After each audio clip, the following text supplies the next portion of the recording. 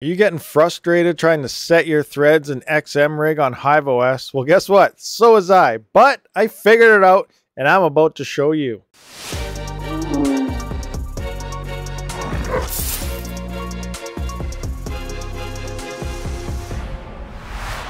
Going on everyone? Rabid here with the Rabid Mining YouTube channel. I'm coming at you with another Rabid's Guide to show you guys how to set your threads on XMRig in HiveOS. If you're not yet subscribed to the channel, be sure to hit that subscribe button, thumbs up, and bell notifications so you don't miss a future episode. Also, this is going to show you how to slightly boost your hash rates as well on a coin like Raptoreum.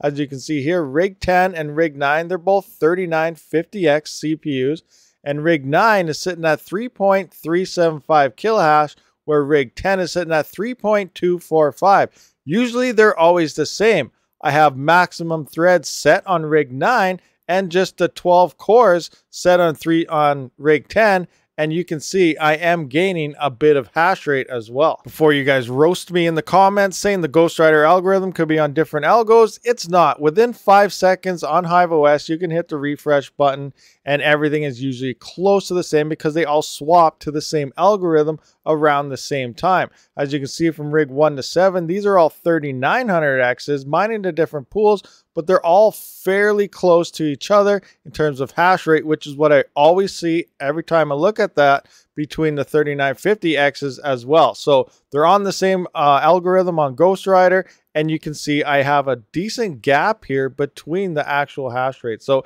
I know it's not massively a lot, but it is some extra improvement. So I tried the extra config arguments. I used the thread commands that the majority of miners use and it doesn't work. I then tried the CPU configuration backend with the threads command, and again, it doesn't work. Everything always reverts right back to using the XMRig documentation. Now, this is all set up and fine and dandy when it comes to BAT files and Windows, but you do have to convert it to the Linux version for them to kind of operate. We already tried the threads command and again, it doesn't work. So then, as always, do your own research. I hit to the Google machine and then we check out, you know, some Reddit here. So there's a Raptoreum post in Reddit where someone does say you can limit your threads number by adding this line. So you have your algo here, so RX. So for Ghost Rider Raptoreum, we need GR 0, 1, 2, 3, 4, 5, 6. Always remember 0 is counts as 1. So if you put in 10, you're actually at 11.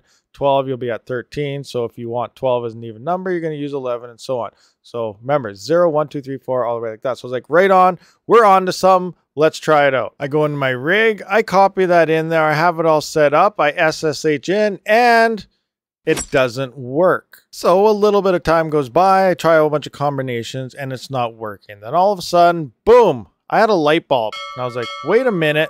I don't think GR is correct. If we go back into Windows here, I find my Raptoreum config.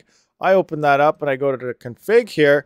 We presently, in the past, had the same issue trying to get Windows XMRig to even run because the algorithm was wrong. It is saying Ghost Rider, not GR. So I went in there, I copied Ghost Rider. I was like, okay, if this doesn't work, I don't know what's going on. So I copied Ghost Rider, I closed it out.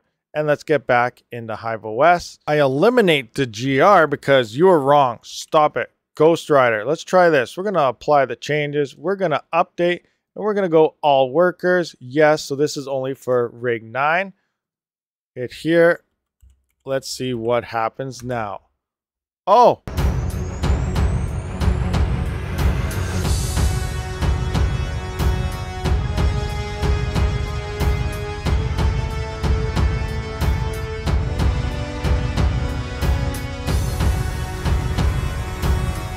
we're sitting at 10 threads, guys.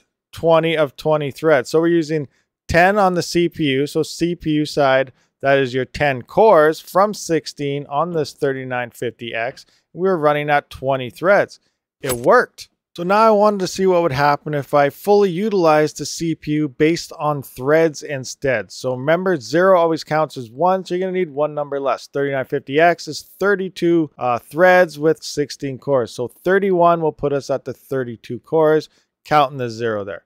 So we get rid of that, and we can see now Hive HiveOS is showing all of our threads now instead of previously, like we see on Rig 10, it's only showing the 16 cores. So we are showing all our threads. So that was one part that was very interesting. And coming back into the main dashboard, hit the refresh again. We must have swapped an algorithm. We can see 3.476 kilohash on rig 10, which is just a 12 cores, and 3.635 kilohash with all 32 threads enabled. So we are gaining some hash rate by utilizing all the threads. We weren't really utilizing the complete CPU. It was fairly close really, really close, but it looks like we are getting a little bit of a performance boost by adding every single thread in individually to our flight sheet. So now I limited it down to 18 threads, I guess, per se. I thought of maybe use it on the core side. Obviously, we don't have that many cores in here, just to see if it worked, because I was debating if maybe you had to go under the 16 core mark to actually start underclocking it, or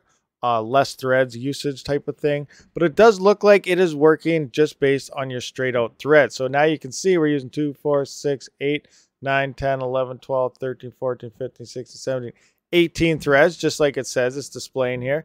But we are down on the hash rate a little bit. I just hit the total wrong refresh. So 4.9 kilohash, where rig 10 is now sitting at 5.6.